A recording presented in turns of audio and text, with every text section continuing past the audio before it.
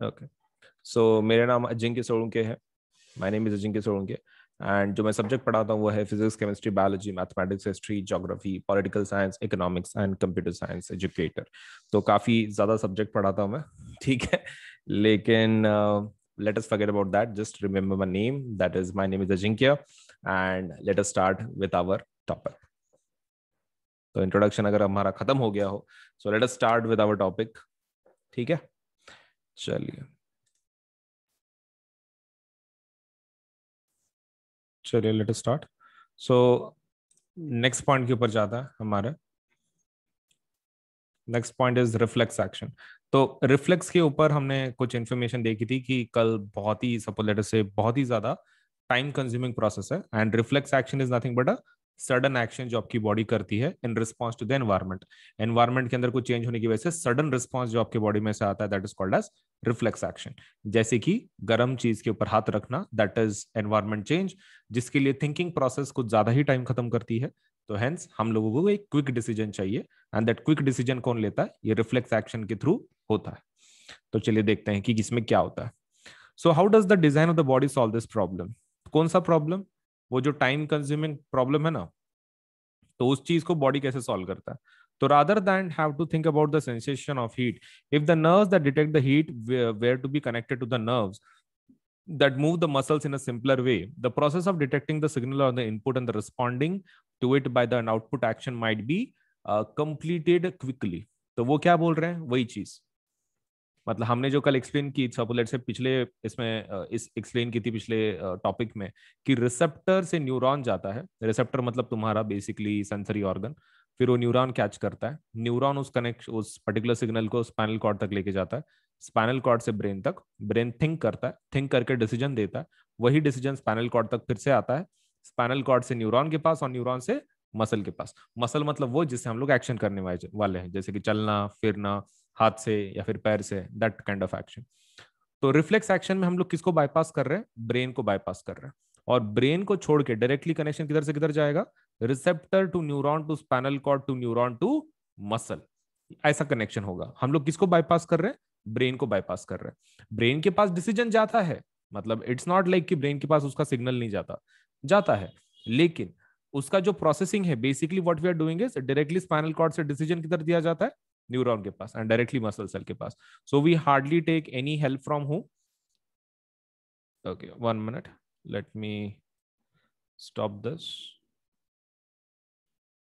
okay हाँ अभी ठीक है। So basically what is happening is कि हमारे इसमें सिग्नल hmm, डायरेक्टली चले जाता है from spinal cord to neuron to muscle और ये जो ये जो पाथ है जो रिफ्लेक्स एक्शन कंप्लीट करने के लिए जो पाथ लिया जाता है उसको क्या बोलते हैं? Reflex arc So what is the difference between reflex action and reflex arc? Reflex action is our response. वो हमारा रिस्पॉन्स है। जैसे कि गर्म चीज़ के ऊपर हाथ रखते हैं, हम लोग पीछे लेते हैं ना that is called as reflex action and what is reflex arc reflex arc is the path की जो लिया जाता है ऑफ़ द सिग्नल की जो हमने अभी एक्सप्लेन किया। Reflex arc is nothing but the neural path neural path है आपका जो रिसेप्टर से न्यूरॉन से स्पाइनल कॉर्ड से जाता है ना, फिर वो न्यूरॉन मसल द पाथवे तो basically reflex arc is nothing but the pathway वो पाथवे है. And what is your reflex action वो तो अपना रिस्पॉन्स है to the environment The best place, of course, would be at the point where they first meet each other. Nerves from all of the body meet in a bundle in the spinal cord on their way to the brain. तो पूरे nerve cell किसको connected रहते हैं? अपने spinal cord को. Underline करो. All the connections are to the spinal cord और spinal cord फिर कनेक्शन किधर कनेक्टेड रहता है? ब्रेन की तरफ़. Reflex arcs are formed in the spinal cord itself, although the information inputs also goes on to reach the brain. ये बहुत important है कि ब्रेन की तरफ़ वो इंफॉर्मेशन जाती है कि नहीं जाती है फिर? वहाँ पे दो चीज़ें हैं। ब्रेन के पास इंफॉर्मेशन जाती है लेकिन डिसीज़न कहाँ पे लिया जाता है basically decision is taken immediately and that is responded by home spinal cord मतलब वो इन्फॉर्मेशन ब्रेन के पास जाएगी लगता लेकिन तब तक अपन उस डिसीज़न को ले लेंगे कि हाथ को हमको पीछे लेना है। गर्म चीज़ के ऊपर हाथ रखा है। ब्रेन को पता चलता है कि हाँ वो गर्म चीज़ है। और लेकिन हम लोग उसकी डिसीज़न ब्रेन के ऊपर नहीं छोड़ते। डायरेक्टली हाथ पीछे खींच लेते हैं। And that happens due to spinal cord now, of course, reflex arcs have evolved in animals because the thinking process of the brain is not fast enough. तो रिफ्लेक्स आर्क की ज़रूरत क्यों पड़ गई? बोलो। क्या हमारा ब्रेन स्ट्रांग है और फास्ट है? है। लेकिन कुछ एक्शंस के लिए हमको और फास्ट डिसीज़न की ज़रूरत है। और फास्ट डिसीज़न में कौन मदद करता है फिर? रिफ्लेक्स आर्क तो हम लोग ऐसा बोल सकते हैं reflex arc faster than brain brain से फास्टर है क्योंकि ब्रेन को थिंक करके डिसीज़न लेना पड़ता है which takes time faster than usual process right usual process से काफ़ी फास्ट है. In fact many animals and this happens due to what brain is slow आपका ब्रेन स्लो है इसलिए. Brain is not fast enough तो brain ज़्यादा fast enough नहीं है इसलिए ये प्रॉब्लम होती है। In fact many animals have very little और none of the complex neural network neuron network needed for thinking कुछ जनों को तो न्यूरॉन का नेटवर्क भी नहीं है मतलब ब्रेन ही सपोज़ लेट से बहुत ही स्लो है। It is quite likely that reflex arcs have evolved as efficient ways of functioning in the absence of true thought processes तो एक ब्रेन की जगह पे रिफ्लेक्स आर्क की ज़रूरत पड़ गई तो हम लोग ऐसा बोल सकते हैं। रिफ्लेक्स आर्क मतलब लोअर ऑर्गेनिज्म uh, में भी हो सकते हैं द रीजन बीइंग क्योंकि इसको ब्रेन की ज़रूरत नहीं पड़ती तो ब्रेन अगर नहीं है फिर भी रिफ्लेक्स आर्क होता है However, even after complex neuron networks have come into existence, reflex arcs continue to be more efficient for quick responses. Okay, तो यहाँ पर एक एरो करके लिख दो स्लो रिस्पॉन्स कौन देता है slow response slow response is given by who brain and who gives you quick response quick response जल्दी से एक्शन करने वाले का काम कौन करता है? That is done by reflex arc very important वो दो पॉइंट लिख दो। पाथ पता होने के बावजूद what they are doing is they are giving us one more diagram ठीक है? तो इसको समझ के लेते हैं। तो क्या है इस डायग्राम के अंदर? सेम चीज़ जो अभी हमने देखी। जो आपके ये लेते हैं, क्या बोलते हैं आपको जो गर्म चीज़ के ऊपर जब हाथ रखते हो तो कौन डिटेक्ट करता है? रिसेप्टर्स? जब भी आप कोई गर्म चीज़ के ऊपर हाथ रखते हो तो कोई रिसेप्टर्स रहते हैं आपके स्किन में, सेंसरी ऑर्गन, वो उसको रिसीव करते हैं सिग्नल को। वही सिग्नल किसके थ्रू जाता है? न्यूरॉन के थ्रू। ठीक है, न्यूरॉन के थ्रू जाता है। एंड, लेकिन उसको कौन सा न्यूरॉन बोलते हैं? Sensory neuron. ऐसा क्यों? क्योंकि this neuron is connected to the sensory organ, इसलिए उसको स्पेशल नाम दिया है तो न्यूरॉन ही वो लेकिन उसको नाम वैसा दिया है सेंसरी न्यूरॉन मतलब ऐसा neuron which is connected to the sensory organ और वही इंफॉर्मेशन वो किसके पास लेके जाएगा? स्पाइनल कॉर्ड के पास, उसको सीएनएस बोलते हैं। हाँ सी बाद में देखेंगे अपन उसको सीएनएस क्यों बोलते हैं। फ़िलहाल के लिए इतना ध्यान में रखो कि स्पाइनल कॉर्ड तक लेके जाते हैं। अब स्पाइनल कॉर्ड किसको कनेक्टेड है? ब्रेन को। इंफॉर्मेशन ब्रेन को जाएगी। इंफॉर्मेशन ब्रेन के पास ज़रूर जाएगी इस केस में, लेकिन डिसीज़न इमीडिएटली लिया जाएगा। ब्रेन के डिसीज़न के लिए वेट नहीं करते। Immediately the decision is taken by they let's say spinal cord के वहीं पे एंड डायरेक्टली वो किसको दिया जाता है? दूसरे न्यूरॉन को। लेकिन ये न्यूरॉन कौन है? इसका नाम है मोटर न्यूरॉन मोटर न्यूरॉन क्यों बोलते हैं इसको? क्योंकि ये मसल से कनेक्टेड है। एक्शन करनी है ना आपको? वो हाथ पीछे लेना है। तो आपको हाथ जब पीछे लेना है तो मसल यूज़ करने पड़ेंगे। उसके साथ मसल के साथ जो कनेक्टेड न्यूरॉन्स रहते हैं, उसको क्या बोलते हैं? मोटर न्यूरॉन हाँ तो ये चीज़ ध्यान में रखना है एग्ज़ाम में, क्योंकि आपको ये पूछ सकते हैं what are sensory neuron what is motor neuron तो what is sensory neuron connected to sensory organs what are motor neurons connected to the muscles बस, इतना ही है। मतलब आपको इतना पता चल गया what is sensory neuron and motor neuron बहुत बड़े बड़े काम हो गए।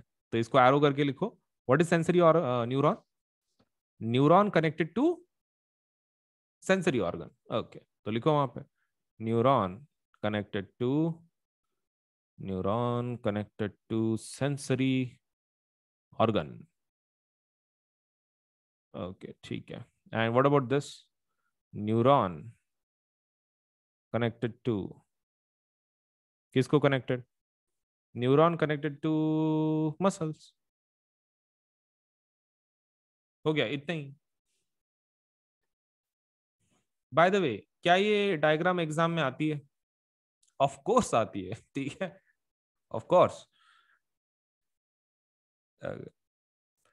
अब वो बोल रहे हैं आपको can you now trace the sequence of the events which occur when a bright light is focused on your muscles obviously you can write same sequence होगा रिसेप्टर्स फिर बाद में कौन से न्यूरॉन सेंसरी न्यूरॉन फिर बाद में C N S that mean spinal cord फिर से उसके बाद मोटर uh, न्यूरॉन और मोटर न्यूरॉन के बाद इफेक्टर इफेक्टर मतलब कौन सा? तुम्हारा ये वाला मसल uh, वाला। इसको रिसेप्टर बोलते हैं, इसको इफेक्टर बोलते हैं। इफेक्टर मतलब जिससे तुम एक्शन करने वाले हो एंड रिसेप्टर मतलब जो सेंसरी ऑर्गन में से। तो आइस का भी तुम बता सकते हो।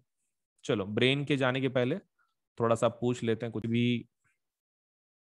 इट्स सच अ टॉपिक की जो आपको मतलब जनरल साइंस में दो तीन सालों से आ ही रहा है तो ब्रेन के बारे में पढ़ते हैं। Is reflex action the only function of the spinal cord spinal cord का एक ही काम है क्या? रिफ्लेक्स एक्शन नहीं।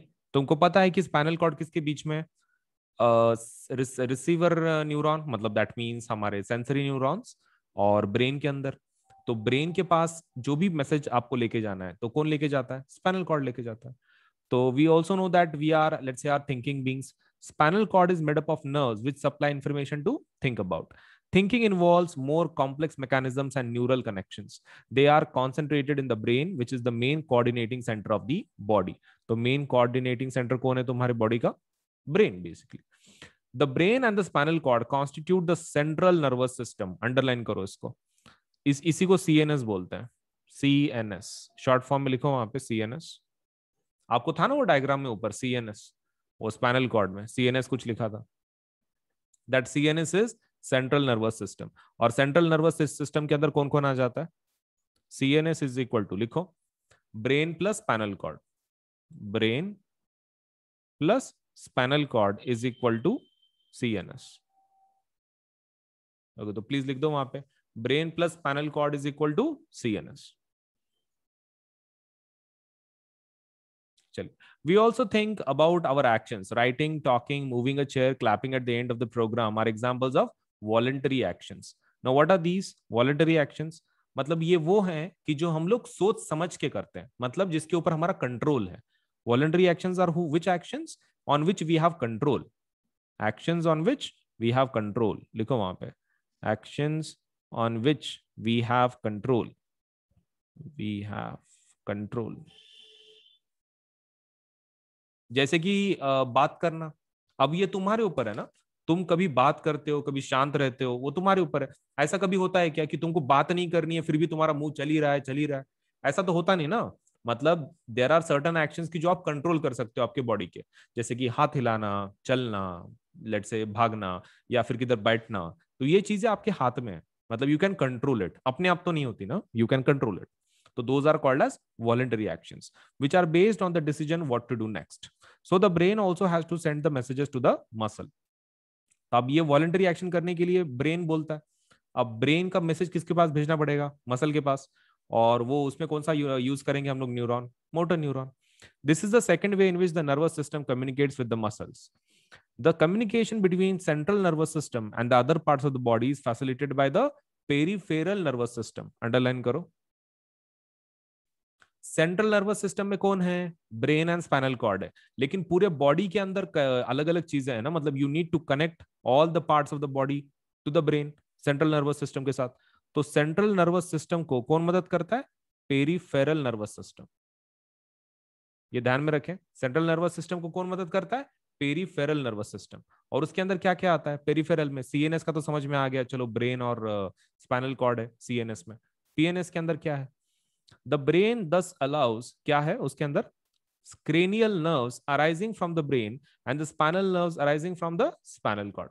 तो ये चीज़ आपको ध्यान में रखना है कि facilitated by peripheral nervous system consisting of उसके अंदर क्या क्या रहता है? Cranial nerves arising from the brain and the spinal nerves arising from the spinal cord इसका मतलब क्या है? कि आपके स्पाइनल कॉर्ड्स के अंदर से कुछ नर्व्स निकलती हैं न्यूरॉन्स निकलते हैं नर्व्स निकलते हैं, उन्हीं को हम लोग क्या बोल रहे हैं? स्पाइनल नर्व्स और जो ब्रेन के अंदर से निकलते हैं, उसको क्या बोलते हैं? क्रेनियल नर्व्स और ये इनको मिला के क्या बोलते हैं हम लोग? पेरिफेरल नर्वस सिस्टम मतलब मेन कौन है? सेंट्रल नर्वस सिस्टम और उसमें से जो कुछ नर्व्स निकले हैं, जो पूरे बॉडी में फैले हुए हैं, उनको क्या बोलते हैं? क्रेनियल नर्व्स और दूसरा कौन है? स्पाइनल नर्व्स अंडरलाइन कर लो. Peripheral nervous system peripheral nervous system में कौन कौन है? क्रेनियल नर्व्स, लिखो वहाँ पे। Cranial nerves cranial nerves bracket में लिखो। किसके क्रेनियल नर्व्स? ब्रेन के ना? Okay, brain. और और कौन आता है पेरीफेरल नर्वस सिस्टम में? वो ये स्पाइनल नर्व्स, लिखो स्पाइनल नर्व्स। ये किधर से आते हैं? ये स्पाइनल कॉर्ड में से। लिखो, स्पाइनल कॉर्ड।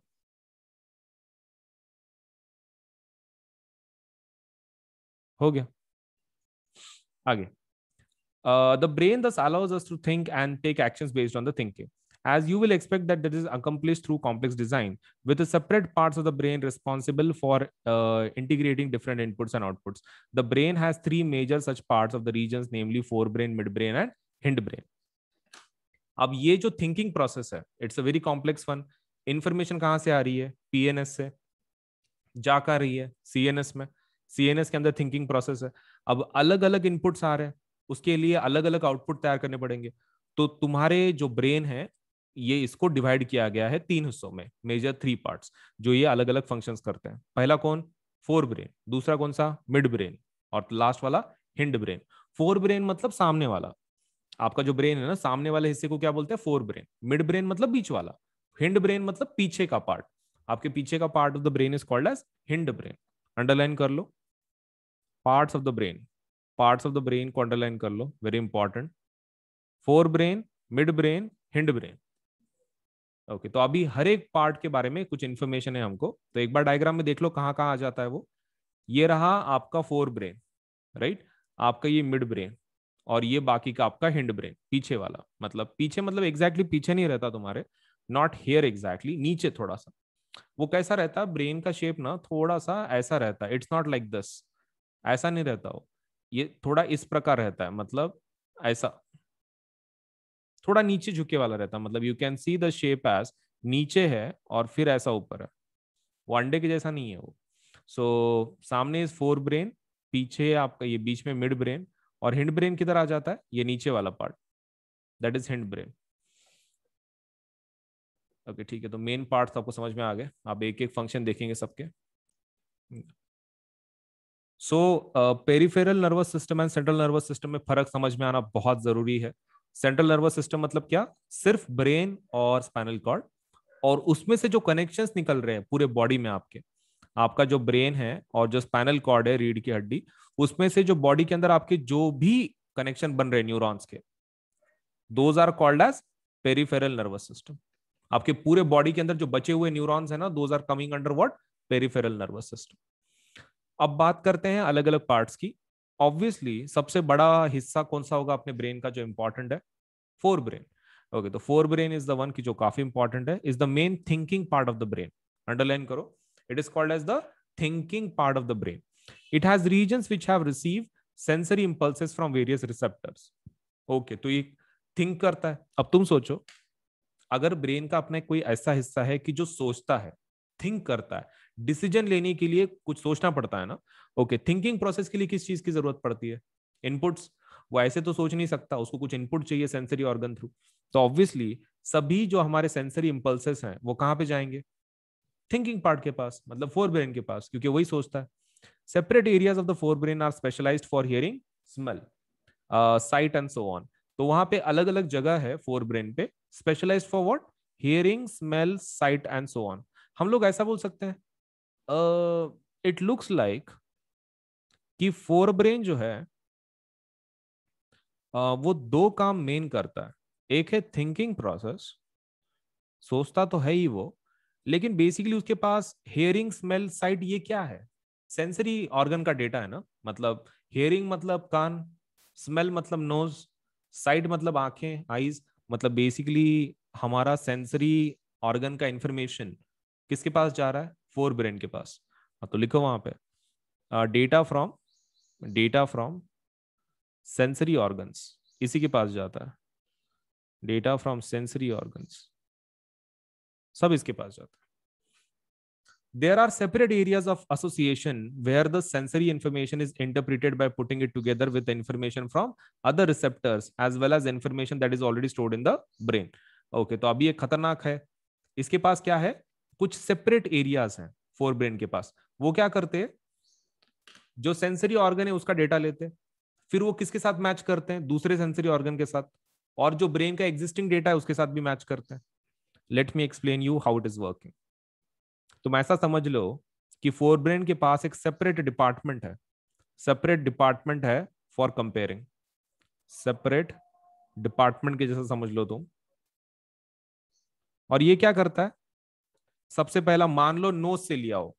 नोज़ से डेटा लिया उसने। नोज़ वो किसके साथ कंपेयर करता है? नोज़ का डेटा कंपेयर करता है वो बाकी के सेंसरी ऑर्गन के साथ। मतलब स्किन हो गया आईज हो गया। नोज़ का डेटा किसके साथ कंपेयर कर रहा है वो? Compares with other sensory organs other sensory organs इसके साथ कंपेयर करता है वो, एक कंबाइंड डेटा बनाता है। और वो इसको किसके साथ मैच करता है? ये दोनों डेटा को मतलब नोज़ एंड सेंसरी ऑर्गन का डेटा किसके साथ मैच किया जाता है? ब्रेन के अंदर जो ऑलरेडी स्टोर्ड इन्फॉर्मेशन है, उसके साथ। मतलब जैसे एक सिंपल एग्जांपल बताता हूँ। मान लो तुमने आइसक्रीम खा ली, ठीक है? आइसक्रीम खा ली तो तुम्हारे स्किन को ठंडा फील हुआ होगा करेक्ट फिर तुमको स्वीट फील हुआ होगा करेक्ट एंड कुछ स्मूथ भी लगा होगा, उसका कुछ स्मेल भी आया होगा। मतलब और तुमने कोन के अंदर खाया तो तुमको आवाज़ भी आया। So there are lots of things तुमको टेस्ट भी पता चली हाँ? फिर उसके बाद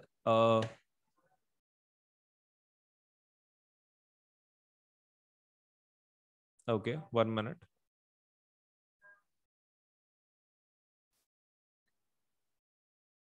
तो तुम उसको कुछ इस तरह सोचो। तुमने आइसक्रीम खाई, ठीक है? तुमने हाथ में आइसक्रीम ली, तुम्हारे हाथ में कोन है, उसके ऊपर आइसक्रीम है, तुमने खाई उसको। खाते वक्त उसका आवाज़ हुआ, किसका? वो कोन का। कुरकुर, आवाज़ आया। फिर तुमने आइसक्रीम खाई, वो थोड़ी ठंडी लगी, तुम्हारे स्किन को टच हुआ वो कोन, ठंडा लगा तुमको। ऊपर से तुमने उसको देखा भी, चलो, आइसक्रीम है। एंड फिर सपोज़ तुमने उसको टेस्ट भी किया, स्वीट भी लगा तुमको। अब ये पूरा डेटा मान लो तुम टंग का कंपेयर कर रहे हो तो ब्रेन क्या करता है? टंग का डेटा लेता है, आँखों का डेटा लेता है, कानों का डेटा लेता है, स्किन का डेटा लेता है, कंपेयर करता है इसको और उसको किसके साथ कंपेयर करता है? हमारे जो पिछले एक्सपीरियंसेस है, जो ब्रेन में स्टोर्ड है, तुमने बचपन में भी आइसक्रीम खाई होगा, तुमने कुछ साल पहले भी आइसक्रीम खाया होगा, तुमने कुछ महीनों पहले भी आइसक्रीम खाई होगी तो उस उस डेटा के साथ कंपेयर करता है। क्या ये वही एक्सपीरियंस है? और उसके बेसिस पे कुछ थिंकिंग प्रोसेस चलती है उसकी। मतलब हाँ फिर वो बोलेगा हाँ यार, ये तो आइसक्रीम ही है। मतलब this is how it work एक simple logic how it work is basically first it compares the data of all the sensory organs and it matches with what previous information जो ब्रेन के अंदर है. Okay तो matches with तीसरा क्या? Matches with previous information stored in brain previous information stored in brain कितना अच्छा है comparison. Matches with previous information stored in brain. आगे देखते हैं। Based on all this, a decision is made about how to respond and the information is passed on the motor areas which control the movement of voluntary muscle, for example, our leg muscles.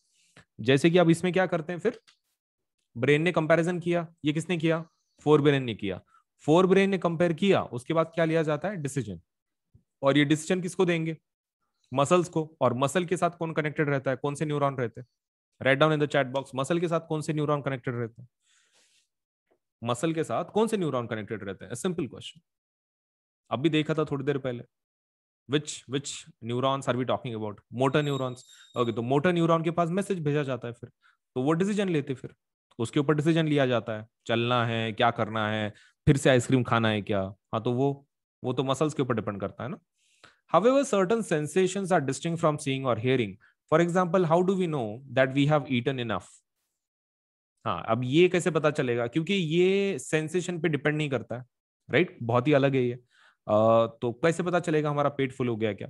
The sensation of feeling full is because of a centre associated with hunger which is is a separate part of the forebrain तो इसके लिए separate part है अपने brain में जिसका जिसको is nothing but किधर है वो? फोर ब्रेन के अंदर। तो मतलब मैक्सिमम डेटा मैक्सिमम सेंसेशन किसमें से होता है अपने को? Sensory organs.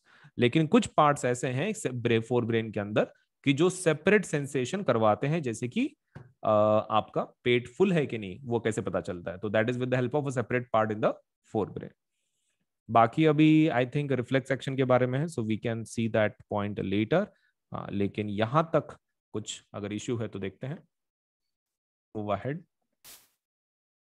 तो फोर ब्रेन के बारे में हमने काफ़ी सुना कि फोर ब्रेन काफ़ी कंपेयर करता है डेटा सेंसरी ऑर्गन्स का।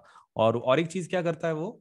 पिछले डेटा के साथ मैच करता है to take a decision which is given to whom motor motor neuron muscle cell के साथ। एंड और एक काम क्या उसका? वो, उसके पास कुछ ऐसे भी हिस्से हैं जो सेंस करते हैं आपके बॉडी की चीज़ों को विदाउट सेंसरी ऑर्गन्स जैसे कि क्या? जैसे कि पेट जब आपका भरता है तो आपको पता चलता है किसके थ्रू फोर ब्रेन की वजह से। There is no sensory organ for that अब बात करते हैं study the label diagram of the human brain ऊपर दिया है। We have seen the different parts of the have specific functions can we find out the function of each part okay ठीक है तो आगे आगे इन्फॉर्मेशन देखते हैं कैसा कैसा है। Let us look at the word other use of the word reflex that we have talked about in the introduction other use मतलब देखते हैं अदर यूज़ ऑफ़ रिफ्लेक्स की बात कर रहे हो। Let us see other use मतलब किस चीज़ के बारे में बात कर रहे हैं। अदर यूज़ okay, ठीक है. So, other use of reflex our mouth waters, when we see food we like without our meaning to. Okay क्या बोल रहे हो? अपने मुँह के अंदर पानी छूटता है जब हम लोग खाने को देखते हैं। पानी मतलब एक्चुअली पानी रहता क्या वो? नहीं. इट इज़ सलाइवा रहता है जनरली वो, जिसके अंदर एंजाइम्स रहते तो वो अपन खुद करते हैं क्या? नहीं. वो एक्चुअली अपने आप होता right without our meaning to our heart beat without our thinking to तुम्हारे जो दिल की धड़कने हैं, वो भी ऐसी बीट करती हैं। विदाउट लेट से क्या आप ऐसा सोचते हो? एक काम कर, अभी तू सत्तर प्रति मिनट की तरफ़ से सपोज़ बीट कर रहा है ना, अगले इसमें ट्वेंटी से कर, या अगले इसमें हज़ार से कर। तो तुम्हारे हाथ में नहीं है right you cannot control the heart beats neither you can control the mouth waters so इन लोगों को सपोज़ क्या बोलते हैं फिर? इन इनवॉलेंटरी एक्शन बोलते हैं।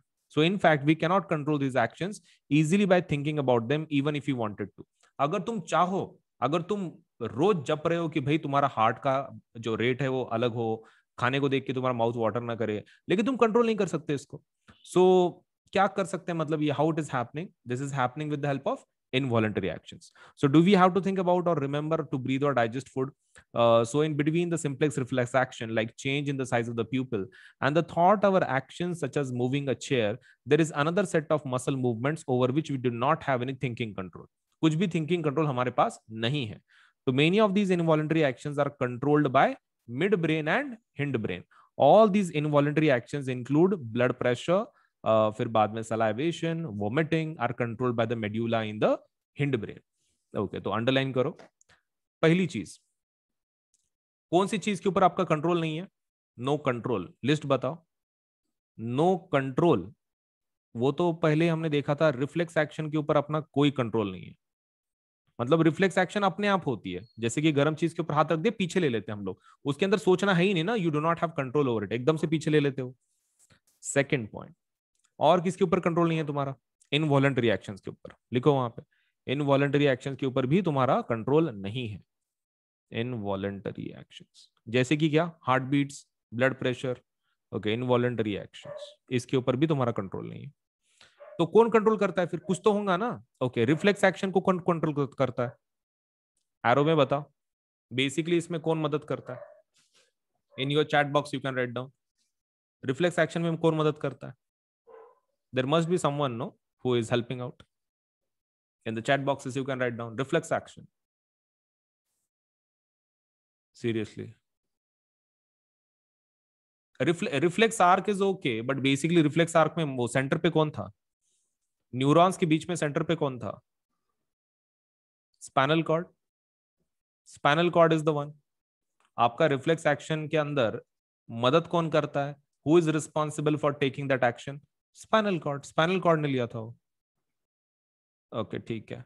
और फिर आपका ये जो सेकंड चीज़ है इनवॉलेंटरी एक्शन जिसके ऊपर आपका कंट्रोल नहीं है, इसमें कौन मदद करता है आपको? Midbrain and hindbrain लिखो वहाँ पे।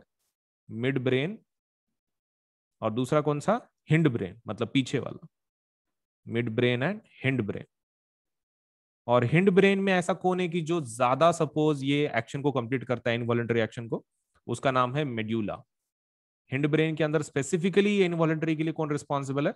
मेड्यूला हालाँकि दोनों है मिड एंड हिंड लेकिन हिंड में का एक स्पेशल पार्ट है कि जो इसके लिए बहुत ही ज़्यादा रिस्पॉन्सिबल है एंड दैट इज़ मेड्यूला तो चलो देखते हैं मेड्यूला किधर है। ओके okay, तो मेड्यूला बोल रहे वो हिंड ब्रेन में। हिंड ब्रेन किधर है? ये रहा हिंड ब्रेन। कहा है मेड्यूला? हाँ ये रहा मेड्यूला। दिख रहा? Okay so that is your part I hope आपको दिख रहा है वो। मेड्यूला की जो आपके इनवॉलेंट्री एक्शन को क्या करने वाला है? कंट्रोल करने वाला है।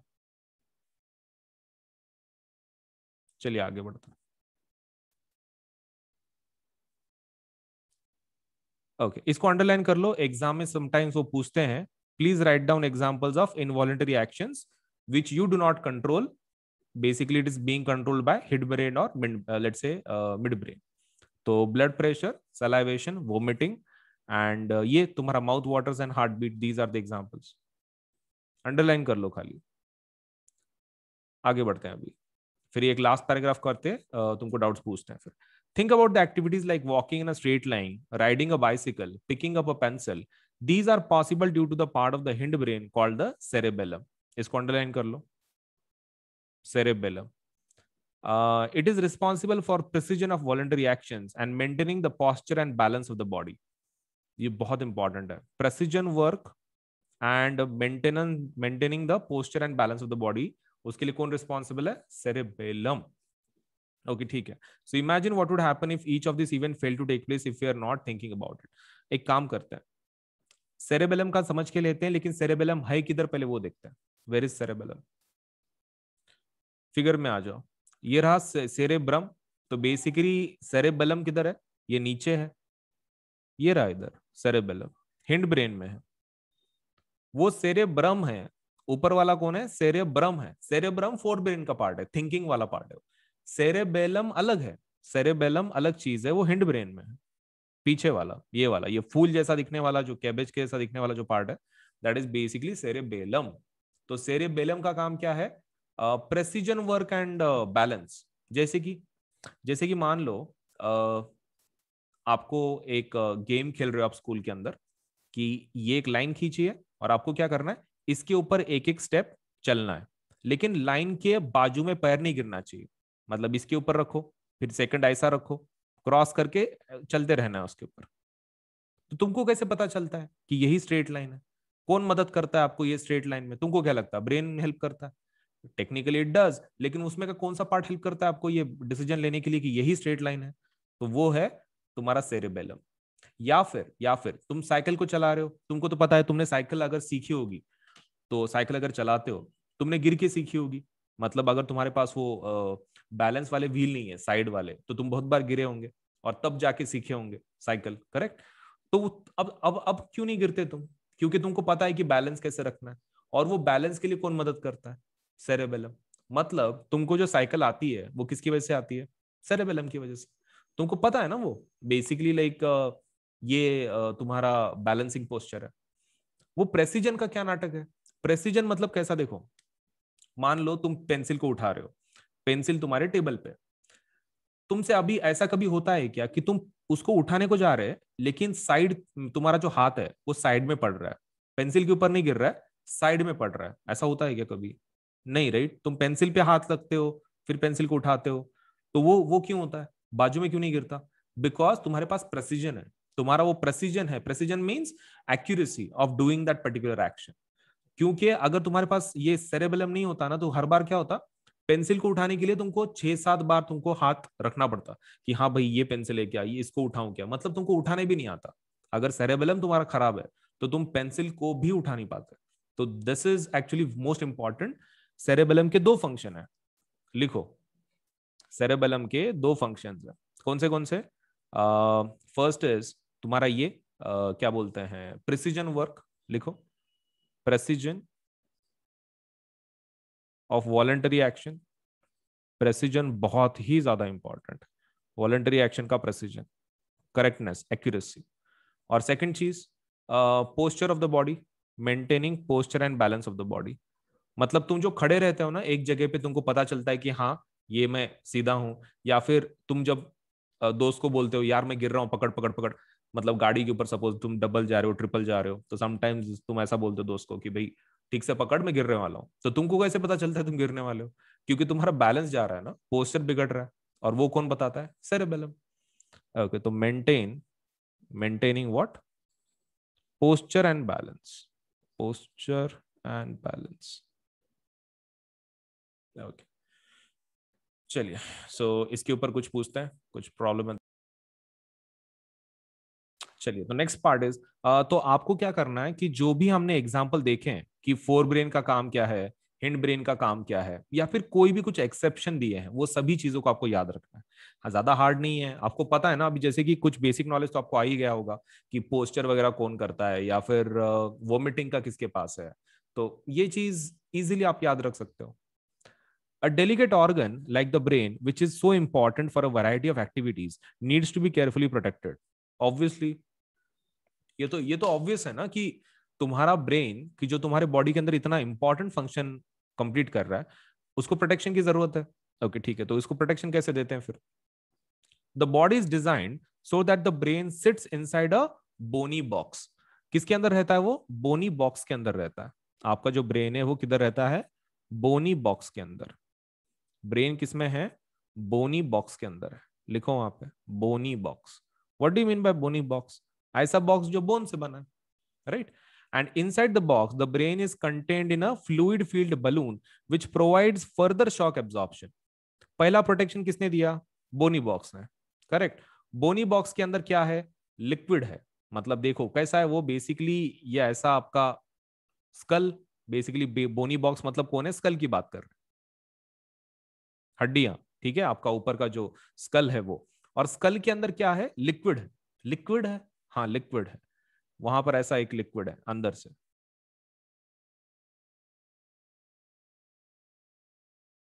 ओके और उसके अंदर ब्रेन है। उसके अंदर क्या है? उसके अंदर तुम्हारा क्या है? ब्रेन है। ओके तो ये लिक्विड का क्या फ़ायदा है? शॉक एब्जॉर्प्शन ओके तो लिखो वहाँ पे। वो भी लिख दो। एग्ज़ाम में क्योंकि एक सिंपल टू ये क्वेश्चन मार्कर आ सकता है तुमको। बोनी बॉक्स के अंदर क्या है? Fluid filled balloon okay fluid filled balloon fluid filled balloon क्या करता है ये? शॉक एब्जॉर्प्शन अगर तुम गिरे या फिर तुम्हारे सिर के ऊपर कुछ लगा तो पहला शॉक किसने स्टॉप किया? तुम्हारे स्कल ने, हड्डियों ने. बाहर का जो हड्डी है तुम्हारा, वो आपके स्कल को, आपके ब्रेन को प्रोटेक्ट करता है. और अंदर और प्रोटेक्शन किसने दिया? फ्लूइड ने. क्योंकि लिक्विड क्या करता है? उस जो प्रेशर है, वो जो शॉक है, उसको एब्जॉर्ब कर लेता है. तो basically shock protection shock absorption shock मतलब वो शॉक नहीं है इलेक्ट्रिसिटी वाला नहीं नॉट इलेक्ट्रिसिटी वाला। This is physical physical trauma मतलब तुम्हारे सिर के ऊपर कुछ पत्थर लगा या फिर कुछ गाड़ी लग गई तुम सी, दीवार के ऊपर सिर पटक दिए वो वाला। If you run your hand over the middle of your back you will be you will feel a hard bumpy structure तो क्या बोल रहे वो if you run your hand down the middle of your back मतलब पीछे पीछे अगर तुमने ठीक से हाथ अपना घुमाया सपोज़ आपके पीठ के ऊपर तो आपको एक बम्पी स्ट्रक्चर दिखेगा। मतलब यू नो फील होगा आपको। हार्ड होगा एंड बम्पी होगा। बम्पी मतलब जो बाहर निकला हुआ। This is the vertebral column और backbone which protect the spinal cord underline करो इसको। उसको क्या बोलते वर्टिब्रल कॉलम तो ये प्रोटेक्शन किसका हो गया? ब्रेन का। ब्रेन का छोड़ दो। दूसरा प्रोटेक्शन किसका है अभी? स्पाइनल कॉर्ड का। मतलब we are talking about the protection of CNS central nervous system का प्रोटेक्शन ब्रेन का प्रोटेक्शन कौन? Bony box and fluid filled with balloon और दूसरा प्रोटेक्शन किसने दिया? दूसरा प्रोटेक्शन इसने दिया। बैकबोन वर्टिबल कॉलम लिखो वहाँ पे। वर्टिब्रल कॉलम वर्टिब्रल कॉलम और बैकबोन किसका प्रोटेक्शन कर रहा है वो? स्पाइनल कॉर्ड का। ओके तो फिर फ़र्क क्या है? क्योंकि इतनी देर तो हम लोग एक ही समझ रहे देखो, फ़र्क है उसमें। आपका जो बैकबोन है ना, वो हड्डी है। बैकबोन मतलब क्या है? बेसिकली हड्डी है। मतलब जो आपको फील होता है, हड्डी वाला पार्ट दैट इज़ बैकबोन या फिर वर्टिब्रल कॉलम बोलते हैं उसको। स्पाइनल कॉर्ड उसके अंदर है। स्पाइनल कॉर्ड इज़ नॉट हड्डी। Spinal cord is network of neurons spinal cord क्या है? न्यूरॉन है। बैकबोन हड्डी है। ये समझ में आ रहा है? हड्डी के अंदर तुम्हारा न्यूरॉन का नेटवर्क है। तो बहुत सारे बच्चों क्या लगता है? Spinal cord backbone vertebral column एक ही है एक नहीं है वो। प्रोटेक्शन कौन दे रहा है? बैकबोन या फिर vertebral column to spinal cord spinal cord अंदर है उसके। ओके तो ये चीज़ ध्यान में रखें। चलिए, एक नया लेसन शुरू करते हैं आज एंड शुरू करने के पहले मैं तुमको थोड़ा सा बेसिक बता दूँ कि आज हमारा जो टेक्निक होगा, वो कुछ थोड़ा सा डिफरेंट होगा पढ़ने के लिए। हम क्या करेंगे, तुम देख सकते हो, अपने बुक में बहुत सारी जगह है जो एनसीईआरटी ने दी हुई है। लेफ़्ट साइड पे राइट साइड पे टॉप पे बॉटम पे, सब तरफ़ जगह दी है आपको लिखने के लिए।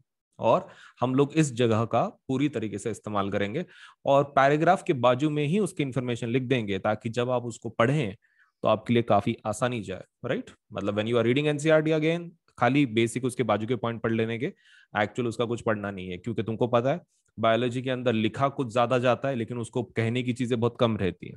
लेकिन पैराग्राफ इतने लंबे रहते कि क्या बोलना? Now this lesson is going to be quite simple because first thing this is about control and coordination like maximum चीज़ें हम लोग ह्यूमंस के बारे में पढ़ेंगे प्लांट्स के बारे में भी यहाँ पर इंफॉर्मेशन है लेकिन as you know plant doesn't have brain like us तो उसका जो वर्किंग है, वो उतना कॉम्प्लिकेटेड नहीं है जितना अपना है। अपना थोड़ा ज़्यादा कॉम्प्लिकेटेड है।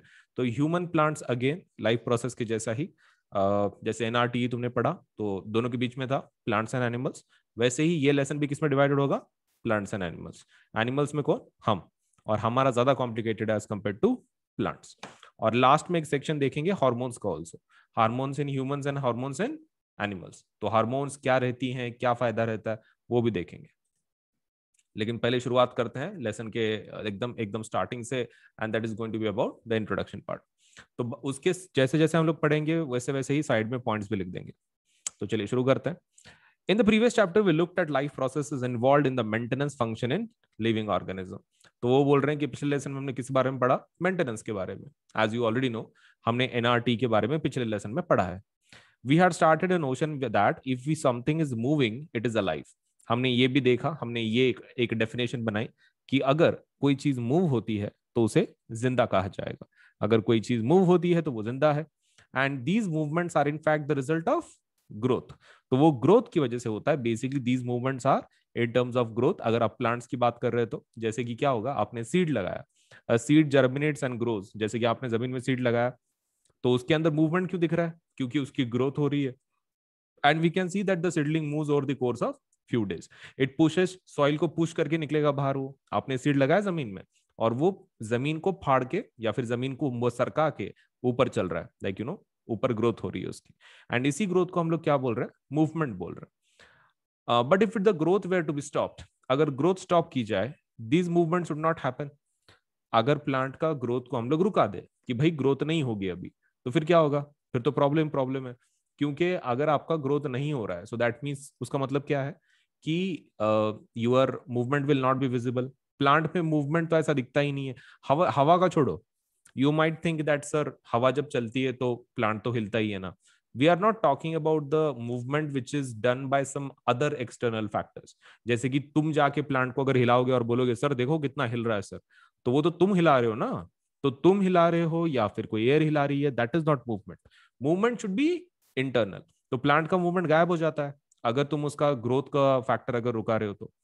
Some movements as in many in animals and some plants are not connected with the growth अब प्रॉब्लम ये है, कुछ ऐसे मूवमेंट है कि जिनका ग्रोथ के साथ कोई रिलेशन नहीं है। जैसे कि एक बिल्ली अगर भाग रही है तो a cat running children playing on swings buffaloes chewing cud these are not movements caused by growth मतलब यहाँ पर तीन चीज़ें इंपॉर्टेंट है पूरे पैराग्राफ में। क्या?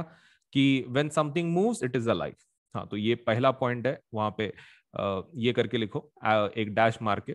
और तुम भी साथ में लिखना मतलब कैसा? पूरा पैराग्राफ फिर से पढ़ने की ज़रूरत नहीं पड़ेगी। So if something moves it is a life right something moves लिखो वहाँ पे। समथिंग मूव्स समथिंग मूव्स तो वो क्या है? कोई अगर चीज़ हिलती है तो वो कैसा है? ज़िंदा है। It's a life it's a life ये पहला पॉइंट दूसरा पॉइंट हमने ये देखा कि कुछ मूवमेंट ग्रोथ के रिलेटेड होती हैं.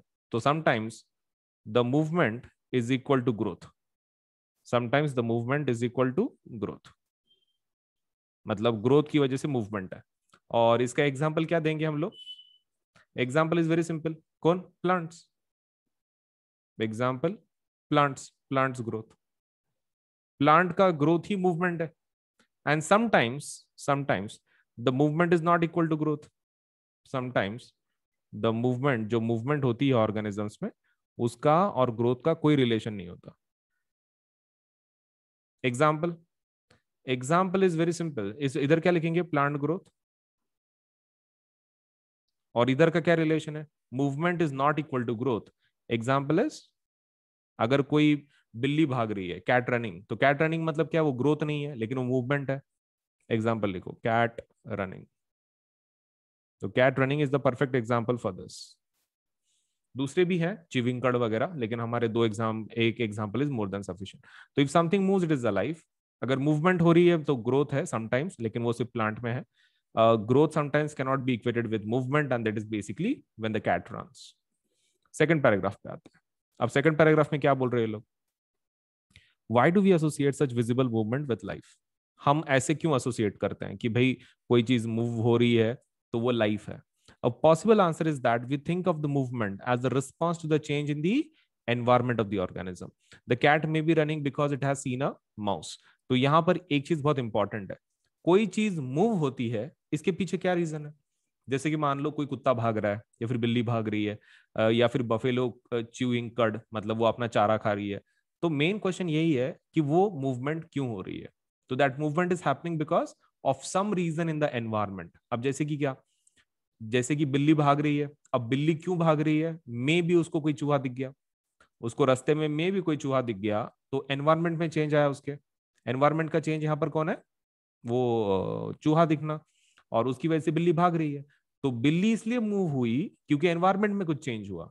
तो दिस माइट हैपन वो एग्ज़ाम्पल दे रहे not only that, we also think the movement as an attempt by living organism to use changes in the environment to their advantage.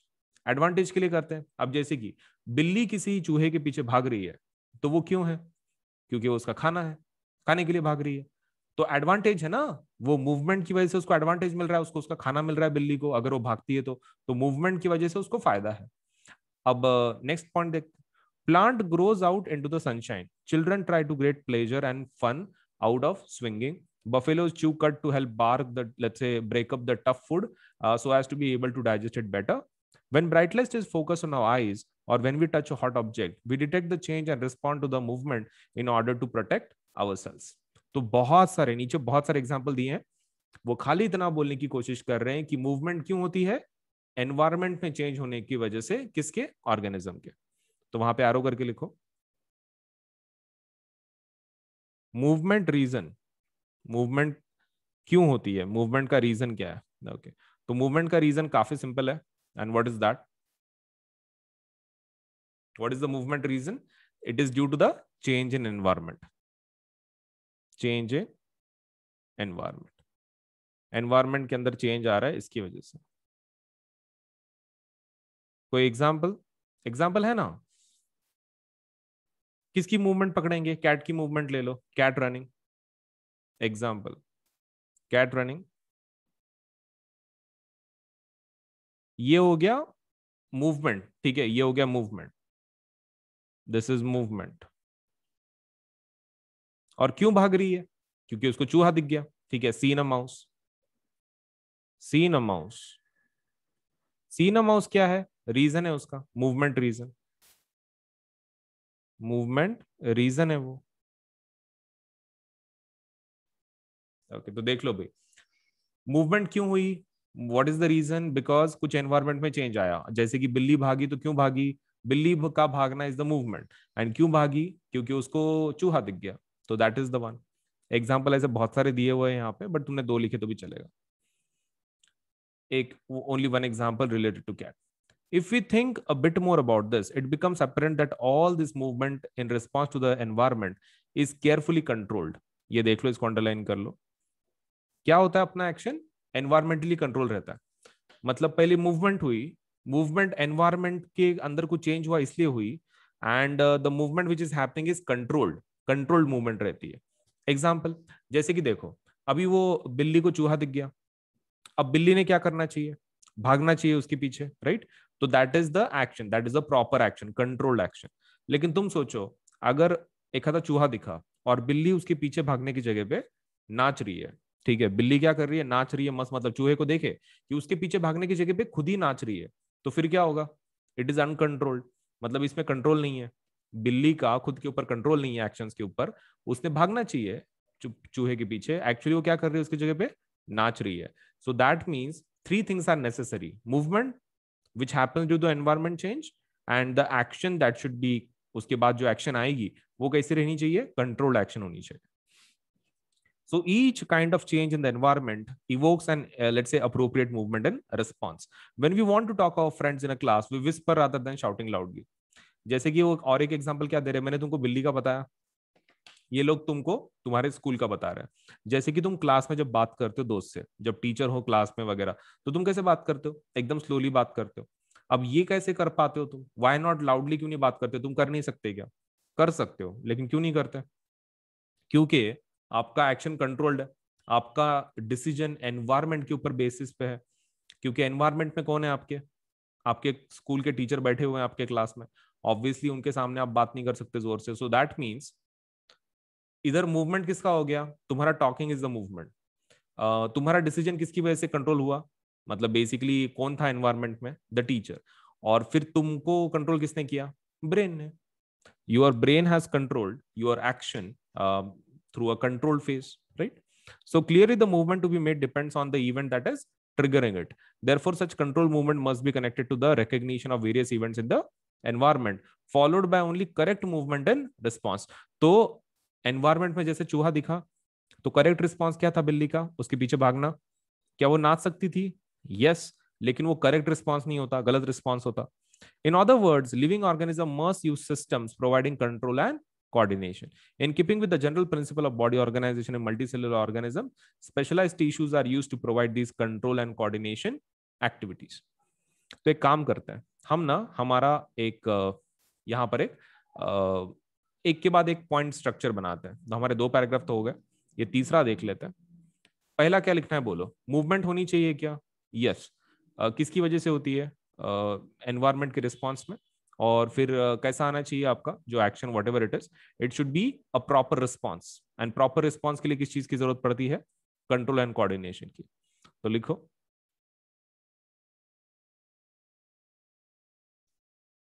Movement क्यों होती है? Movement due to movement due to environment change right change in environment environment के अंदर कुछ change आया। Change in environment and इसके बाद फिर आपका एक्शन कैसा चाहिए? अप्रोप्रिएट एक्शन चाहिए। अप्रोप्रिएट रिस्पॉन्स या फिर appropriate action whatever you want to call it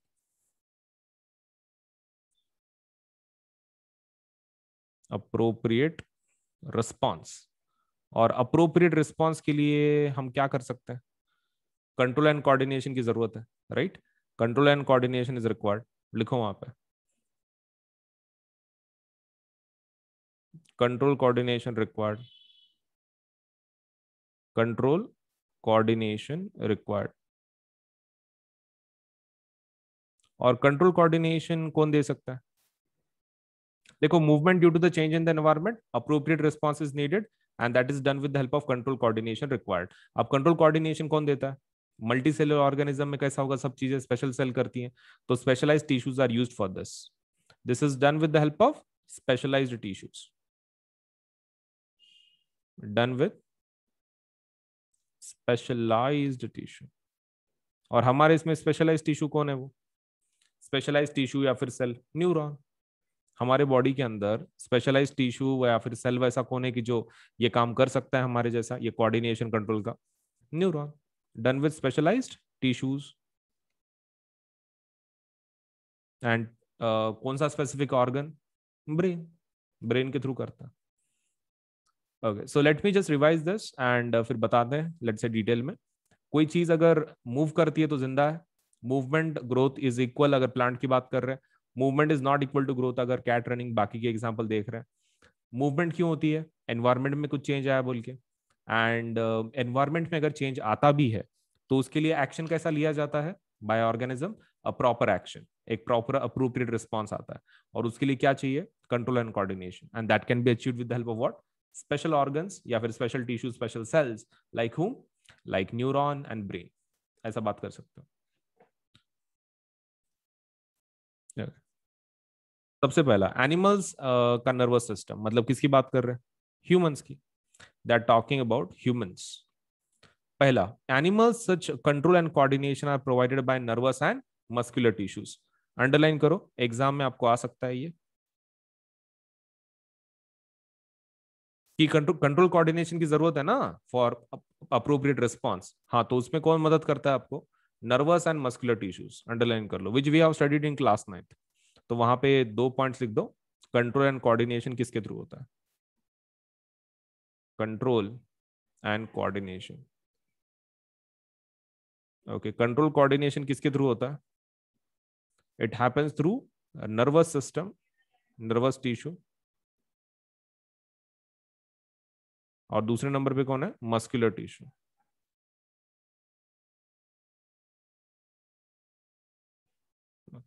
तो nervous tissue helps in this coordination and muscular tissue also helps in this touching an object is an urgent and dangerous situation for us we need to detect it and respond to it तो वो क्या बोल रहे हैं? कि अगर कोई किसी गर्म चीज़ को हम लोग हाथ लगाते हैं तो काफ़ी डेंजरस है बॉडी के लिए. एंड इट्स वेरी अर्जेंट कि हम लोग उसके ऊपर कोई डिसीज़न ले. तो हमको कैसे पता चलता है कि ये गर्म चीज़ है? हमने पीछे हाथ लेना चाहिए। So all information from environment is detected by the specialise tips of the nerve cell तो कोई भी इंफॉर्मेशन आपके एनवायरमेंट से, वो आवाज़ रहो या फिर सपोज़ विजुअल एक्टिविटी हो मतलब सबसे तुम देखने की चीज़ बात कर रहे हो स्मेल की बात कर रहे हो या फिर टेस्ट की बात कर रहे हो, ये सब कुछ हमको कैसे पता चलता है? From the nerve cells nerve cell के थ्रू इंफॉर्मेशन पता चलती है हमको ये। These receptors are usually located in our sense organs such as inner ear nose tongue and so on so gustatory receptors will detect uh, taste while olfactory receptors will detect smell इसको underline कर लो ये पहले समझ के लेते हैं कि व्हाट आर दीज वो क्या बोल रहे हैं कि तुमको कंट्रोल एंड कोऑर्डिनेशन करने का करेक्ट एक बार ठीक से देखो पहले पैराग्राफ में हमने क्या पढ़ा था जो स्टार्टिंग में था लेसन में उन्होंने बोला हमारी मूवमेंट तब होती है जब एनवायरमेंट में कुछ होता है। लेकिन तुमको कैसे पता चलेगा कि एनवायरमेंट में कुछ हुआ है? यू शुड नो नो कि भाई एनवायरमेंट में ऐसा क्या हुआ जिसकी वजह से सपोज़ हम लोग कोई मूवमेंट कर रहे हैं। मतलब तुम्हारे पास एक सिस्टम चाहिए जिसके थ्रू तुम पता कर सको कि एनवायरमेंट के अंदर क्या चेंज आ रहा है। अच्छा जैसे कि अभी बिल्ली भाग रही थी चूहे के पीछे तो बिल्ली को कैसे पता चला कि चूहा है बोल के वहाँ पे? Because it got that sense from the eyes उसने देखा ना सामने उसके पास आँखें हैं आँखों के थ्रू देखा उसने। ओके okay, तो मतलब इन शॉर्ट तुमको एनवायरमेंट का डिटेक्शन के लिए कुछ ना कुछ तो एक ऐसा ऑर्गन चाहिए ऐसा रिसेप्टर चाहिए कि जो आपको इन्फॉर्मेशन देगा एनवायरमेंट से। ओके okay, तो ऐसे कौन रिसेप्टर्स है? जैसे कि टेस्ट का। टेस्ट मतलब अपनी जो टेस्ट रहती है वो कहाँ क्या बोलते हैं उसको? गस्टेटरी रिसेप्टर्स मतलब दीज आर बेसिकली ये न्यूरो नर्व सेल ही है। और ये कहाँ पे रहते हैं बेसिकली गस्टेटरी रिसेप्टर्स टंग के अंदर, वो टंग की बात कर रहे हैं। टेस्ट मतलब कहाँ से टेस्ट करोगे? टंग थ्रू ना? हाँ तो एरो करके लिख दो वहाँ पे tongue. And olfactory receptors क्या है फिर? ऑल फैक्ट्री मतलब नाक के स्मेल वाले नोज़ तो एग्ज़ाम में आपको ये पूछ सकते हैं कि गस्टेटरी रिसेप्टर्स जो है, वो क्या, किस चीज़ के लिए रहता है? तो टेस्ट के लिए रहता है। And olfactory receptors for smell एक वन लाइनर सेंटेंस हम लोग इसको लिखते हैं फॉर फॉर द एक्सप्लेनेशन बोलो, ये पैराग्राफ के बारे में क्या सीखा तुमने? हमने ये सीखा कि एनवायरमेंट का जो चेंज है that can be detected with the help of specialise tissues of the nerve cells या फिर सपोज़ लेट से इसके example gustatory receptors and olfactory receptors वहाँ पे आरो करके लिखो.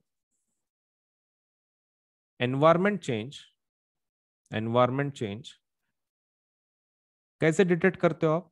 Environment change detected by detected by किसके through detect करते हैं? Environment change detected by detect by what detected by sensory organs या फिर तुम specialised tips of nerve cell बोल सकते हो।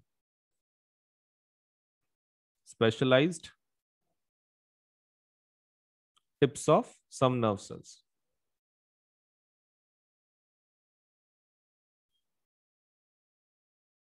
environment change detected by specialised tips of nerve cell bracket में लिखना। तुम्हारा ये सेंसरी ऑर्गन्स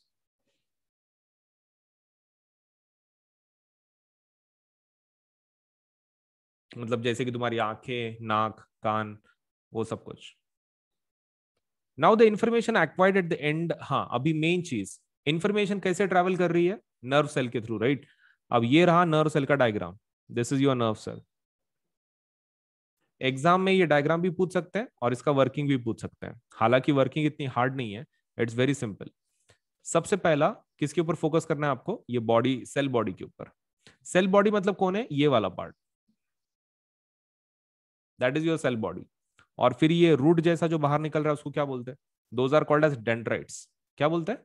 डेंड्राइट्स ये जो रूट जैसा बाहर निकला ना इट्स कॉल्ड डेंड्राइट और फिर वो जो सेंटर का पार्ट है, वो कौन है? सेल बॉडी अब जो तुम्हारा सेल बॉडी है सेल बॉडी के थ्रू दो चीज़ें निकलती हैं, एक डेंड्राइट रूट्स के जैसा एंड एक्सॉन एक एक्सॉन एक निकलता है axon is just a part की जिसके थ्रू इंफॉर्मेशन आपकी पास होने वाली है। तो चलो, पहले देखते हैं कि इंफॉर्मेशन आती कैसी है और फिर उसको ट्रांसफ़र कैसे किया जाता है। तो इंफॉर्मेशन हमने क्या बोला? Tips of the nerve cell detect करती है। टिप मतलब कौन सा? ये।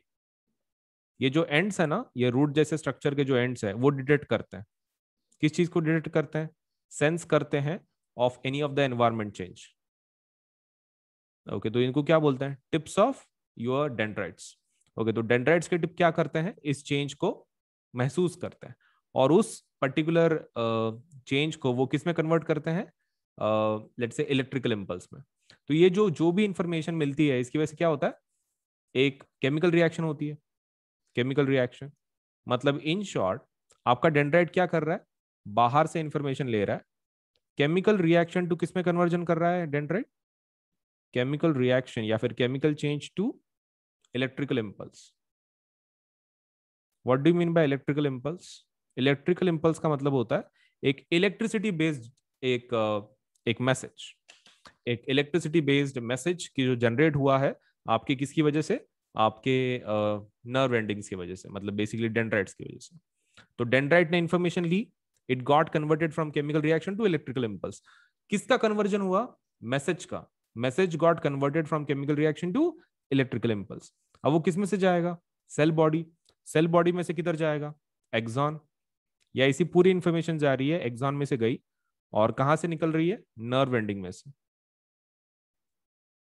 नर्व एंडिंग में से वो इंफॉर्मेशन निकल रही है पूरी। अब प्रॉब्लम क्या है? मान लो मान लो। ये जो लास्ट पार्ट है ना, वहाँ पे फिर से कन्वर्जन होता है आपका। किसमें से किसमें? Electrical impulse to chemical reaction फिर से कन्वर्जन होता है। मतलब जैसा पहला कन्वर्जन हुआ था chemical reaction to electrical impulse अभी वही चीज़ उल्टी होती है। Electrical impulse to chemical reaction अब मेन क्वेश्चन ऐसा होता क्यों है? Why does it happen and इसका क्या लॉजिक है? Okay so let me explain this why it happens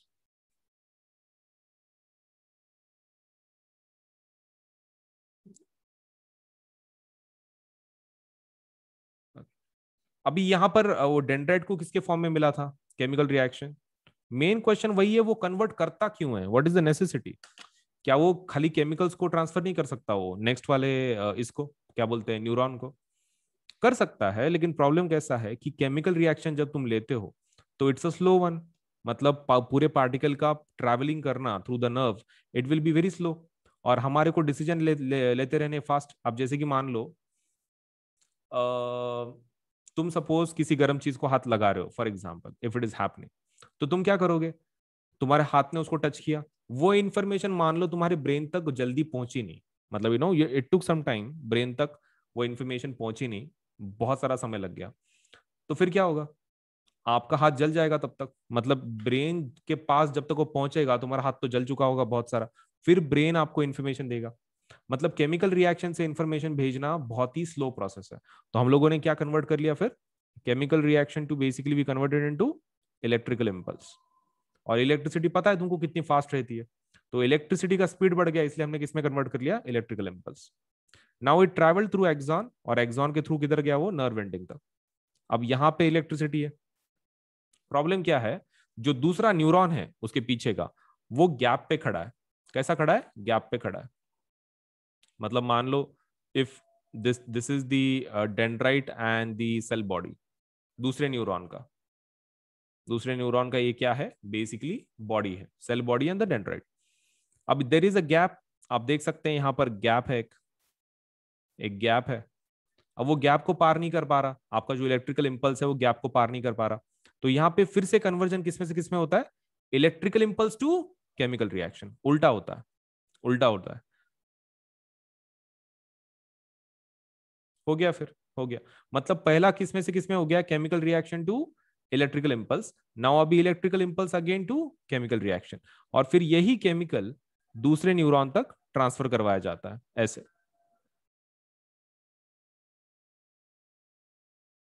तो दीज आर द केमिकल्स की जो कौन डिटेक्ट करता है? डेंड्राइट दूसरे न्यूरॉन का dendrite okay, so this is how they are traveling. The information travels like this. So let me ask about this. हाँ ये तो ठीक है। At the end of the axon the electrical impulse sets off release of some chemicals this chemicals cross the gap of synapse इसको underline कर लो please वो जो gap है ना, आपके दो न्यूरॉन के बीच का, उसको गैप बोलते हैं या फिर साइनाप्स बोलते हैं? साइनाप्स या synapse is nothing but fancy term है for the gap which is present between the suppose let say two neurons दो न्यूरॉन के बीच में जो गैप है, उसको क्या बोलते हैं? साइनाप्स बोलते हैं। बस वेरी सिंपल टर्म ओके बाकी तो जस्ट टाइम पास है। Similar sign follows let's say finally allows delivery of such impulsive from neurons to other cells नहीं, ये तो बेकार है फिर, ज़्यादा कुछ है नहीं उसके अंदर समझाने जैसे।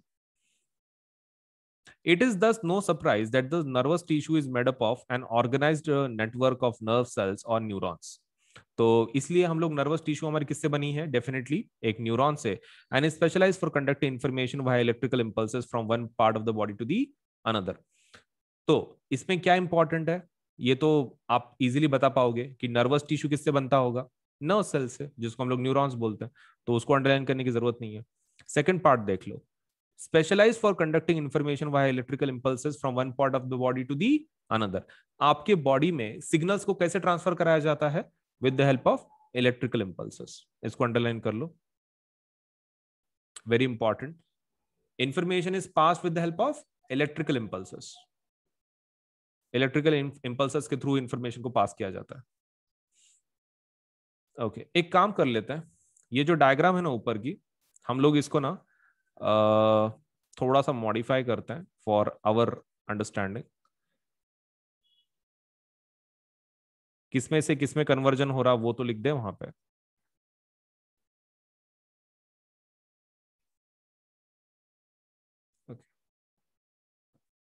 चलिए फ़र्स्ट पॉइंट कहाँ पे से कहाँ पे होता है basically the first is dendrites के ऊपर आता है। That is chemical reaction to electrical impulse हाँ तो वो लिख दो सबसे पहला एरो करके। First dendrite dendrite tip okay dendrite tip के ऊपर क्या होता है? Electrical chemical reaction to electrical impulse chemical reaction to electrical impulse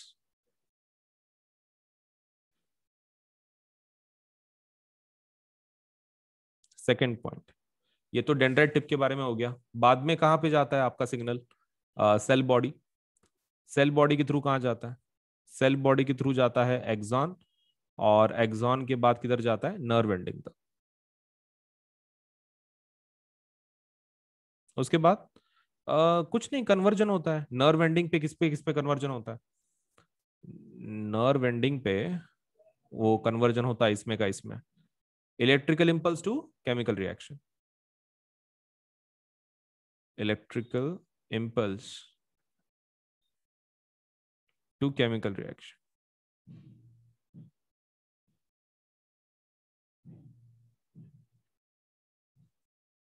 हो गया।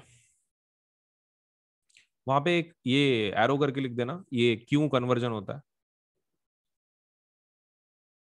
To for what to cover the gap या फिर to cross to cross gap gap को लेट से क्रॉस करने के लिए किया जाता है और वो गैप को क्या नाम है? It is called as synapse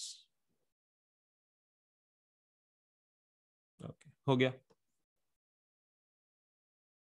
तो हमने प्रोसेस भी लिख दिया अभी। Let us go for the next paragraph next paragraph में क्या इन्फॉर्मेशन अभी?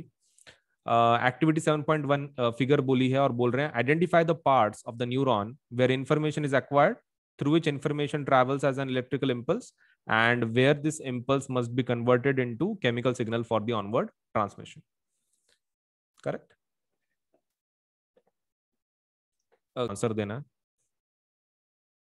सो so, उन्होंने क्या बोला है? तीन चीज़ें लोकेट करने के लिए बोला है उन्होंने इन द डायग्राम तो पहला देख लो वो बोल रहे हैं identify where information is acquired पहले का आंसर बता सकते हो? Where information is acquired first one का answer from looking at the diagram of your your very simple answer. आप लेट से डायग्राम को देख के बता सकते हैं कि भाई इंफॉर्मेशन कहाँ एक्वायर की जाती है, पहली इंफॉर्मेशन यस डेंड्राइट एकदम सही बोले हो डेंड्राइट पे। Second question through which information travels as an electrical impulse किसके थ्रू इंफॉर्मेशन आपकी ट्रैवल होती है? इलेक्ट्रिकल इम्पल्स बोल के। Axon through good good and where this impulse must be converted into chemical signal फिर से कन्वर्जन किधर होता है? कन्वर्जन फिर से मतलब electrical impulse to chemical reaction nerve ending okay arrow करके लिखो वहाँ पे. Nerve ending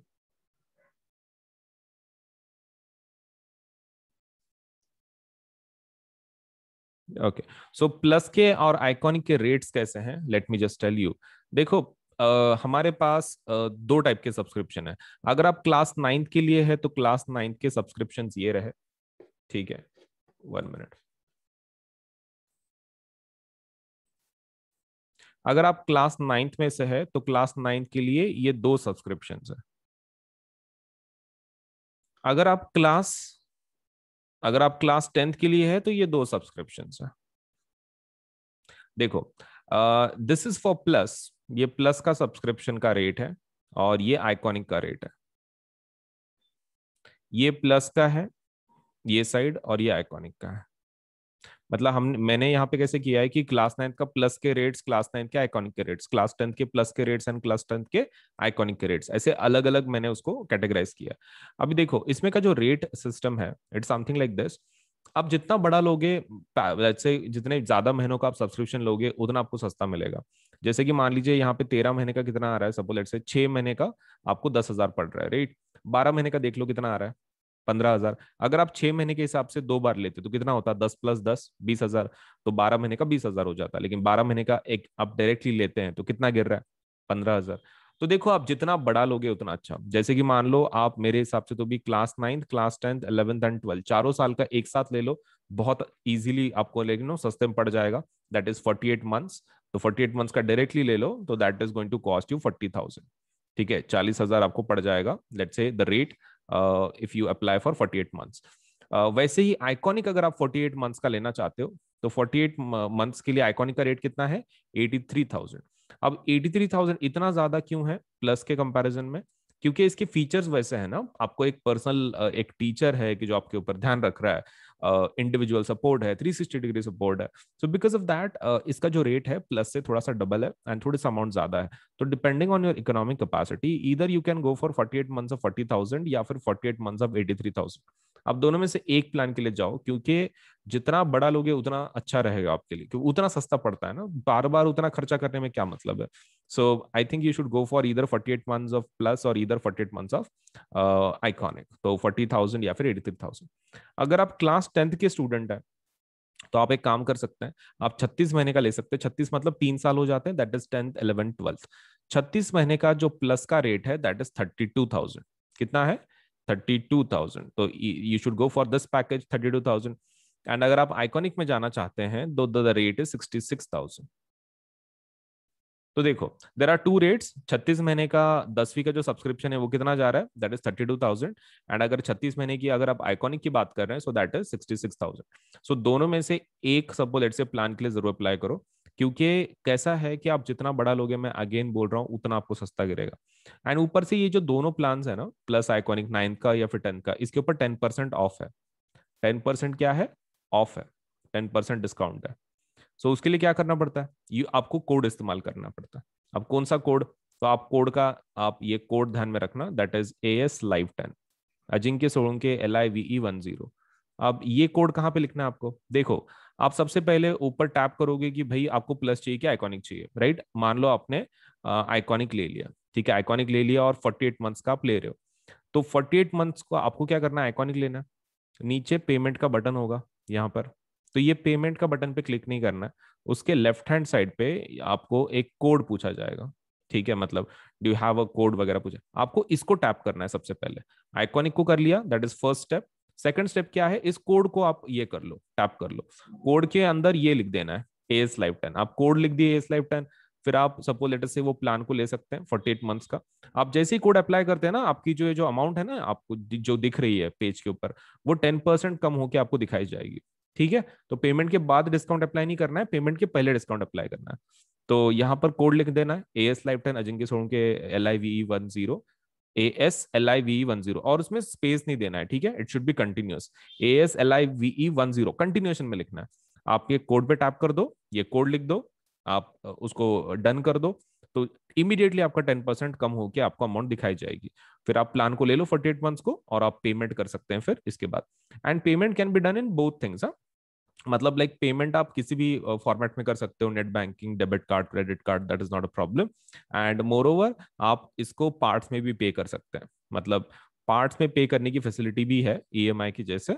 तो आपको वो पेमेंट का बटन दबाने के बाद आपको बहुत सारे ऑप्शन मिलेंगे। तो उसमें पेमेंट बाय पार्ट्स आप वो ऑप्शन भी ले सकते हैं। ठीक है? So that facility is also there अगर मतलब एकदम से इतनी अमाउंट आप पे नहीं कर सकते तो आप उसको पार्ट्स में भी पे कर सकते हैं। दैट्स अप टू यू आपको कैसे पे करना है? बट बड़े प्लान के लिए जाओ ताकि आपको सस्ता मिले right so that is the most important part and code को नहीं भूलना है uh, कि आपको कोड कौन सा यूज़ करना है? A S life ten for ten percent discount ten percent discount के लिए आपको डेफिनेटली यूज़ करना है the code that is A S life ten Ajinkya Solanke A S L I V E one zero तो ten percent discount ज़रूर ले लें सस्ता बना दे अपने प्लान को all your to do is use this code ठीक है? तो कहीं लिख लो और ज़रूर अप्लाई करो आज ही ताकि आपको सभी फीचर्स एक ही प्लेटफॉर्म पे सब कुछ मिल सके राइट सो वीडियो को लाइक करना है चैनल सब्सक्राइब करना है बेल आइकन ज़रूर दबाना है, उतना तो काम कर ही देना ठीक है?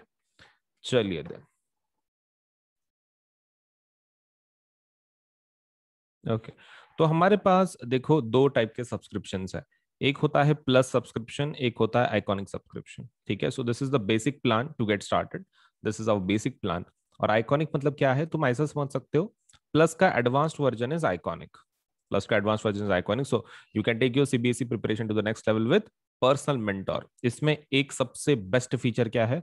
आइकॉनिक में आपको एक पर्सनल मेंटोर असाइन किया जाता है। That is the best thing you are going to get in iconic subscription तो ये आपके ऊपर है। Whether you want to go for plus subscription आप प्लस के लिए जाना चाहते हैं या फिर आइकॉनिक के लिए जाना चाहते हैं दैट इज़ स्टार तो आपके ऊपर है right this is one of our basic plans and इसको आइकॉनिक हम लोग क्या बोलते हैं? 360 डिग्री सपोर्ट तो this is three degree 360 degree support मतलब लाइक यू नो आपको एक कंप्लीट सपोर्ट मिल जाता है हमारी तरफ़ से, एक मेंटोर भी असाइन किया जाता है for your entire study so so, plus में क्या क्या फीचर मिलेंगे? देखो प्लस में आपको सबसे पहला जो फीचर मिलेगा दैट इज़ आपको इंडिया के बेस्ट एजुकेट पढ़ाएँगे। मतलब आपको एक ही प्लेटफॉर्म पे सब्ज़ी सब्जेक्ट का नॉलेज लेट से मिल जाएगा। मतलब ऐसा ज़रूरी नहीं है कि साइंस के लिए दूसरी जगह पे जाओ मैथ्स के लिए ये ये पर्टिकुलर प्लेटफॉर्म पे जाओ।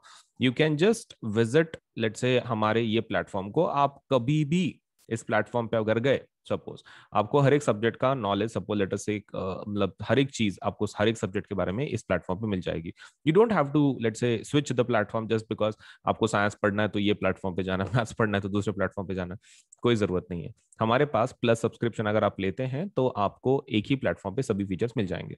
Second thing is that we have interactive live classes मतलब इसके अंदर आपको पढ़ाया जाता है। इंटरेक्शन का मतलब ये होता है कि टीचर आपको लाइव पढ़ाता है। मतलब इट्स नॉट लाइक कि रिकॉर्डेड क्लासेस हैं लाइव क्लासेस होती हैं डेली बेसिस पे तो जिसकी वजह से आप आप टीचर के साथ इंटरेक्ट कर सकते हैं। अगर आपको कोई चीज़ डिफ़िकल्ट जा रही है आपको नहीं आ रही है तो यू कैन लेट से आप इंटरेक्ट uh, कर सकते हैं टीचर्स के साथ and you can get your let say जो भी प्रॉब्लम्स है कोई टॉपिक्स है समझ के ले सकते हैं अ बेटर वे तो इंटरेक्टिव लाइव क्लासेस का वही फ़ायदा है कि आपको एजुकेटर से प्रॉपरली लेट से एक प्रॉपर अंडरस्टैंडिंग के साथ लेट से आपको एक टॉपिक समझ में आ सकता है। मतलब whether it is about doubt या फिर whether it is about let's say explanation part आपको बहुत ही क्लियर तरीके से आपको समझ में आएगा with let's say the teachers of the plus subscription अब बात करते हैं लाइव टेस्ट एंड क्विजेस देखो कैसा है ना? पढ़ाने का तरीका अलग होता है। देखो, एक तो इंडिया के बेस्ट एजुकेटर्स हैं। मैं ऐसे नहीं बोल रहा हूँ educator I am saying educators क्यों? इसका फ़ायदा क्या है? देखो, कैसा होता है? जब आप लोकल ट्यूशन कुछ लगाते हो तो आपको एक पर्टिकुलर सब्जेक्ट के लिए सपोज़ एक टीचर होता है राइट साइंस के लिए एक टीचर मैथ्स के लिए एक टीचर तो इसमें वैसा नहीं है। इसमें कैसा रहता है कि प्लस में आपको बेस्ट फ़ायदा वही है कि आपको बहुत सारे एजुकेटर मिलते हैं सो बिकॉज़ ऑफ़ दैट आपको इसका टेंशन नहीं है। मतलब लाइक यू नो बीच में अगर हो सकता है कि आपको किसी टीचर का टॉपिक समझ में नहीं आ रहा हो, एक आधा तो आप क्या कर सकते हैं? आप एजुकेटर को चेंज कर सकते हैं। मतलब दैट फैसिलिटी ऑल्सो देयर क्योंकि हर एक का टीचिंग मेथडोलॉजी मतलब यू नो अलग अलग रहता है। एंड हर एक टीचर वही ट्राई करता है कि भाई अपने स्टूडेंट्स को प्रॉपरली टीच कर सके right not just on our platform just general trade बोल रहा हूँ मैं टीचर्स का, कि वो they try their best to teach like in their own way. लेकिन अभी कभी कभार ऐसा हो सकता है कि आप किसी टीचर को कनेक्ट नहीं कर पा रहे हो मतलब एक मेथड, क्योंकि जैसे टीचर डिफरेंट होते हैं, वैसे स्टूडेंट भी डिफरेंट होते हैं and not every student can understand एक पर्टिकुलर लैंग्वेज एक अदर टीचर की। हो सकता है कि उस, एक बेस्ट टीचर है, लेकिन उसको किसी, कोई एक ऐसा स्टूडेंट है कि जिसको कुछ समझ में नहीं आ रहा वो टीचर का। इट माइट हैपन तो यहाँ पर वैसा प्रॉब्लम नहीं है। अगर वैसा होता भी है तो हमारे पास साइंस के बहुत सारे टीचर्स हैं मैथ्स के बहुत सारे टीचर्स हैं। अगर आप एक टीचर को, आपको समझ में नहीं आ रहा है तो you can do one thing you can go for uh, the rest of the let's say uh, the teachers. आप रेस्ट ऑफ़ द टीचर्स के लिए जा सकते हैं कोई दूसरे टीचर को बदल के देख सकते हैं। आपको तो सभी टीचर्स का कोर्सेज अवेलेबल हो जाते हैं so there is no problem right चलिए। सो बेस्ट टीचर्स आपको पढ़ाएँगे इंडिया के। And moreover you will be able to have live test and quizzes अब ये क्या है? देखो अब पढ़ाई जब हो जाती है मतलब जब टीचर कोई चीज़ पढ़ाता है आपको one thing which is very important is the testing part मतलब जब तक आप उसको याद करके आप ये, उसकी टेस्ट नहीं दोगे, तब तक आपको पता कैसे चलेगा कि आपका नॉलेज सच में कंप्लीट हुआ है कि नहीं हुआ है।